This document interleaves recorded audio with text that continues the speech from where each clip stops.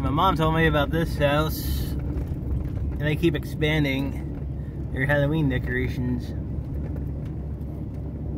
And she ain't lying.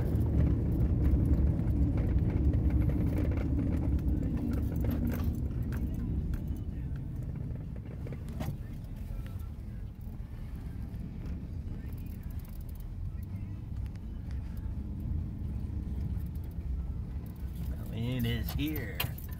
Looks like one of the inflatables is uh, down for the count.